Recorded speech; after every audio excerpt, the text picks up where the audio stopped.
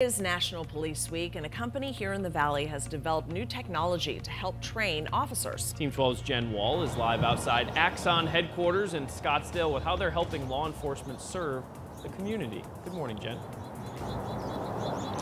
Yeah, good morning to you, Ryan and Rachel. So you probably know Axon for making police tasers and body cameras. Well, now they're unveiling this really cool technology that involves virtual reality for officers. And here's how it works. Wireless headsets connect officers to virtual simulations like you're seeing on your screen right now. It's all virtual reality training. Now, Axon says the training mimics real life situations officers might encounter, allowing them to develop critical thinking, de-escalation, and tactical skills. A study from Stanford University found that virtual reality experiences can be more impactful and make people more empathetic to situations than other forms of media. And another key benefit here this kind of training saves police departments time and money. Phoenix police are actually the first in the country to use it.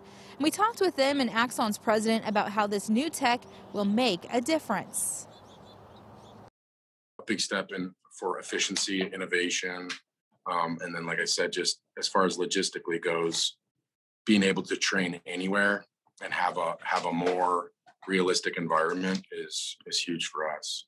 They were actually an early adopter of our community engagement scenarios. And now, as we're rolling out our virtual reality simulator, they're going to be a key beta partner uh, for that as well.